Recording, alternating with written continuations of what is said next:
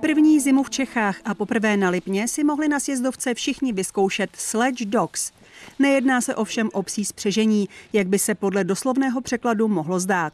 No, hezky česky bych to nazval sněžné brusle, jinak americky, že co to zní Sledge Dogs. A je to super věc pro lidi, kteří hledají něco nového, je to nový sport, nemusíte tahat lyže na ramenou, prostě nazujete to v autě, dojdete na sjezdovku, užijete si, je to strašně operativní, můžete se na tom točit, rekord je na tom dosažený 110 km v hodině, takže ani rychlost není problém a je to mnohem jednodušší, než se zdá. Sněžné brusle prý ocení lyžaři i bruslaři. Nemusí měnit naučenou techniku a užijí si.